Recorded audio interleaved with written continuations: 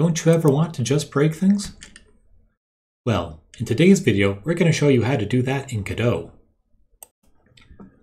Okay, here is the object we're going to break into pieces. Uh, if I go into wireframe mode, notice how it's a pretty simple mesh, not too many polygons. And if we look here at the names, notice how every name ends in dash col. That is how uh, Godot knows to add a collision object to it automatically when you import. This is just a, a way to save a lot of time. And all right, the first thing we're going to do is export this as is because we need a before. This is what the object is going to look like before you smash it. So we're just going to go up to File, uh, Export, GLTF, and we're going to export it as uh, jar.glb. Okay, uh, now we have the whole version. Now we need the smashed version. So let's select the uh, uh, main part of the jar. Come up here to Object, down here to Quick Effects, and select Cell Fracture. And uh, the source limit, we're going to set the source limit to the number of pieces we want to break it into. Uh, 12 pieces should be fine. We don't want too many. Too many pieces is just going to slow down the game engine. And here we have uh, 12 different pieces of the uh, base. Now notice if we uh, take one of these pieces away, that uh, we still have the original copy of the jar behind it. So we don't want that. So uh, we're just going to come up here in the inspector and just delete that. And now we're going to do the same thing with the lid. Uh, object, cell fracture, uh, quick effect cell fracture. Uh, let's break this into maybe eight pieces because it's smaller. Okay, and let's delete the original object.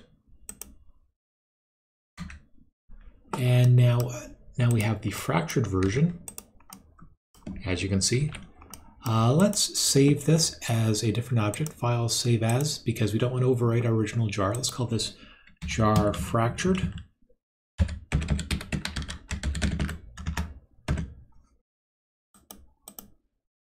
All right, and uh, one more time, we'll just export that as a GLTF.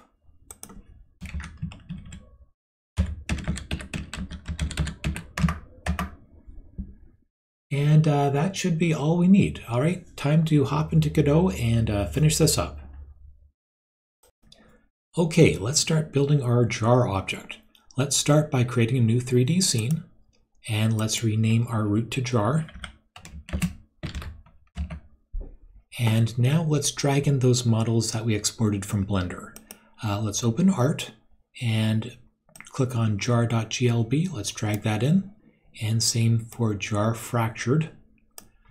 And uh, we're going to want to click on the root of each one of those objects, right click and go down here to editable children. And same thing for jar fractured, right click and editable children. And if you just look at the uh, nodes that we imported, uh, you'll notice that the root node uh, has collision on it, but the fractured, uh, the pieces of the fractured jar does not. That's just due to how Blender renamed everything, and that's okay. We do not actually want collision on these pieces yet. We're going to be uh, adding that in later in code. And uh, let's close these up, and let's get these on the origin. Let's click there. Uh, over to the inspector, open up the transform, uh, click on this arrow to reset the position, and the same thing with the fractured jar as well. And one more thing, uh, we're going to need a center of the explosion. Uh, and we don't want to be we don't want it to be just from the bottom of the jar here. We'd like it maybe somewhere more of the middle. So let's add a marker 3D. We're going to click on the plus button, open the uh, panel there, click on marker 3D, and let's move this up to just indicate the center point that all the explosion is going to be coming from. Okay, so this is sort of the basic setup, and now we're going to hop over into code to uh, be able to animate this. Oh, and uh, one more thing we need to do before we move on to the code, uh, we have to create our fragment, which is what each one of these uh, shattered pieces is going to turn into. Uh, let's just create a new scene by going to Scene, New Scene, make it a 3D scene, and let's add a rigid body to it. Add a child node and type in rigid body 3D to get our root and we're going to right click, make this a scene root. Uh, and let's delete that node 3D because we're not going to need that anymore. And let's add a collision shape to our rigid body. So add child node, uh, collision shape 3D, and we're not going to bother setting the shape over here because we're going to be doing that in code. And let's just save that in as, as a fragment.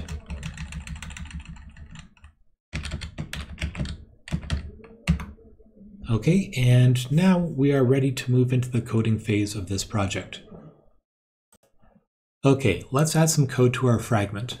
Uh, make sure the root is uh, selected and click on the plus button on the script icon up here to add a new script to it. We're going to call our script fragment.gd. And I'm just going to cut and paste the code in here. Uh, and uh, I'll go through it quickly. So what this fragment is going to do is it's going to represent one of those shattered pieces that flies away from the jar when it shatters. Uh, we're going to start with a class name of fragments so that we can create instances of this in other code. Uh, the lifetime is going to keep track of how long this fragment uh, is alive for before it vanishes. And the elapsed time is going to keep track of how much time has already passed. And if you look down here in the process function, all we're doing is we're increasing the elapsed time by the current delta. And whenever that gets bigger than the lifetime, then we just delete this from the scene. And uh, init from mesh, this is going to be where we do most of the work. This is going to be called uh, from the jar code uh, when it's time to create a new fragment. And all this is going to do is uh, for this particular fragment, we're going to pass in a mesh instance 3D, which is going to represent the, the shape of the fragment. And then we're just uh, copying the global transform of wherever the, uh, the, the, the chunk of the jar was into our this fragments transform. Uh, we are going to be creating a duplicate of that and uh, adding that to uh, the mesh so that we have the duplicate in the fragment. Uh, we're setting the transform of the fragment to the identity because we've already set the transform up here in the global transform. And finally, we are going to initiate the uh, shape of our collision 3D. We're just going to take the uh, convex shape of the fragment mesh coming in and just put that right into the shape parameter right there so that our fragment has collision on it. Okay, now let's hop back over here to jar and just notice I didn't save that. Uh, let's, let's save that as jar.tscn. And now let's add some code to our jar. Uh, we're going to begin by clicking on the uh, plus script up here to add a new script to it. Let's call that jar.gd and create. And now I'm going to cut and paste uh, the code for the jar, and then I'll just uh, go through it. Okay, let's code up our jar. Uh, first, I just need to make a couple of edits to how I set things up here. I'm going to rename jar fractured to jar underscore fractured. And let's turn off the visibility because if we look over here in 3D, uh, this is what we want to see before the jar is shattered, not after. So let's just make that object invisible. And I'm going to rename this too to explode origin.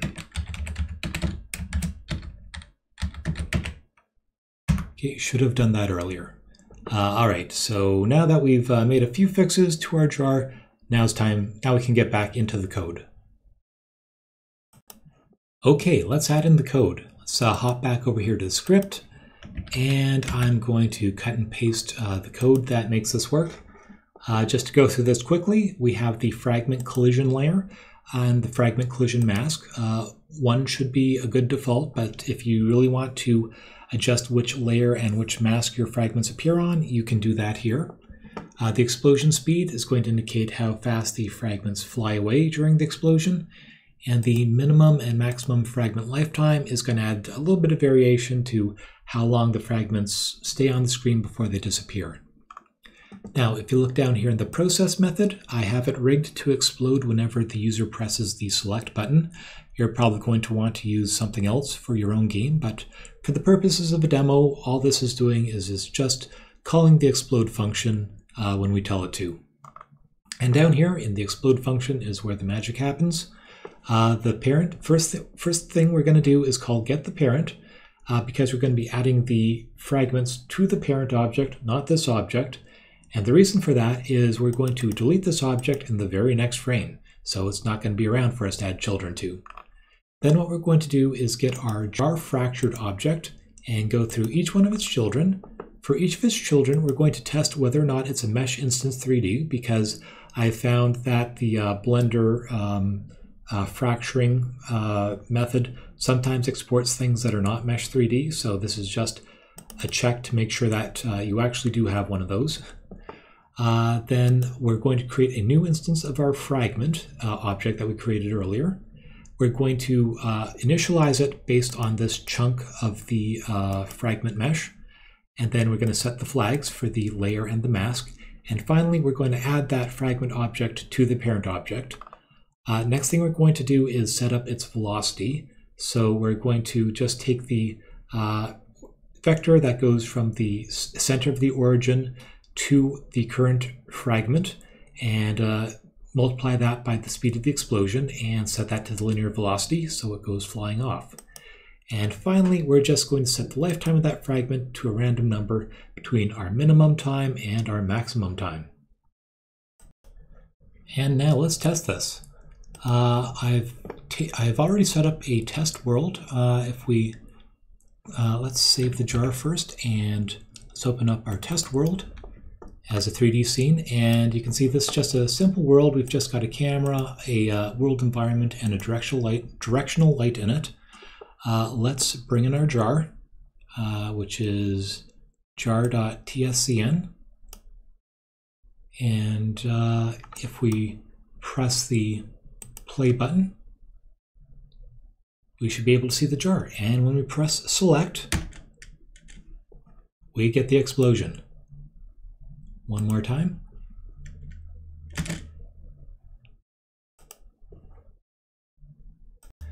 We can further enhance this by adding some particles. Uh, when the jar explodes, just add a little bit of dust. So let's come back over here to the jar and we will right click and add some CPU particles.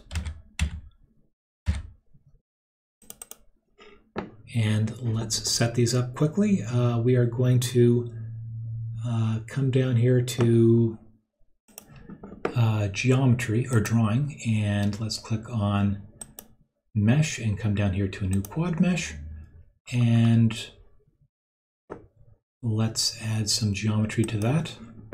Uh, so we're going to go for material override. Yeah, I think so. And that's going to be a standard material, uh, albedo.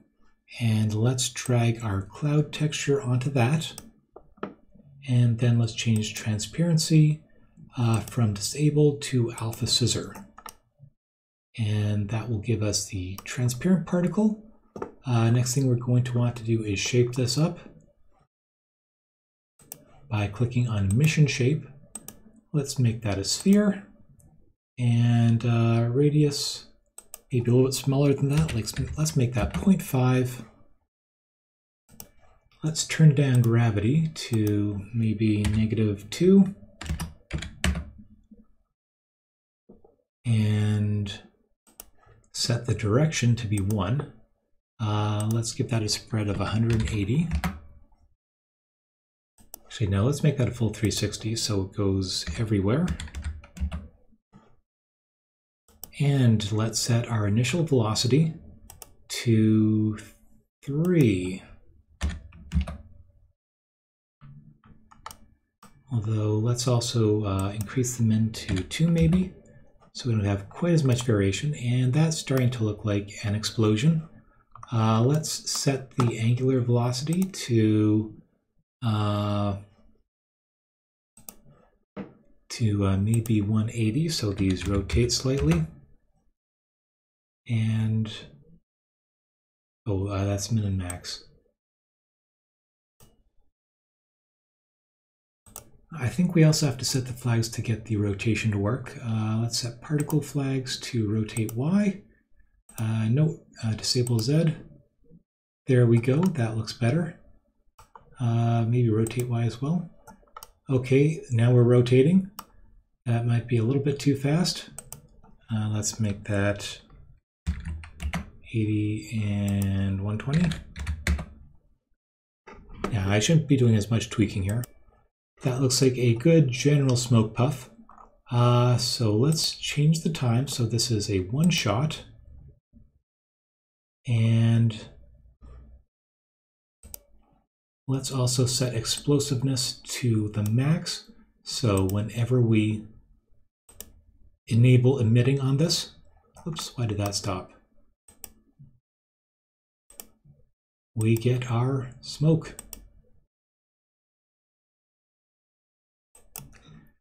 Anyway, I could sit here for uh, hours uh, tweaking the uh, smoke puff, but this is good enough to get the idea. Uh, let's hop back into code and uh, inject that in.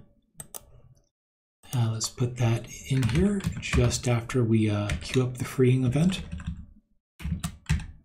So we're just going to grab the particles. Oh, that's going to be 3D particles. And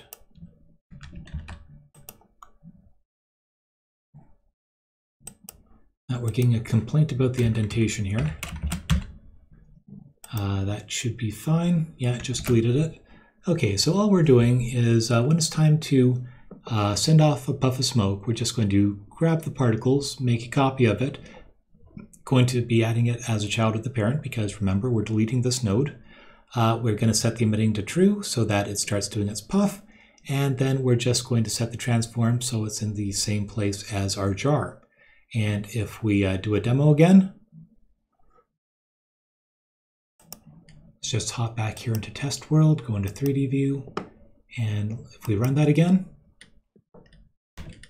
here is the puff of smoke when we uh, release the jar. In fact, let's uh, let's move that particle system up a little bit so it's a little closer to the center of the jar, and run that again.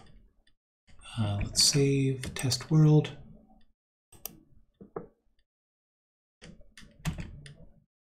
And there we have the puff of smoke. And that is how you create an exploding jar in Godot. And here we are in a game world I've coded up. Uh, you'll notice if my character goes up close to one of these jars and attacks it, I've got it rigged to explode. So, I hope you found this useful. Certainly a good way to go smashing objects in your own game. Uh, if you would like this video and would like to see me do more, uh, please like and subscribe. And uh, until next time, thanks for watching.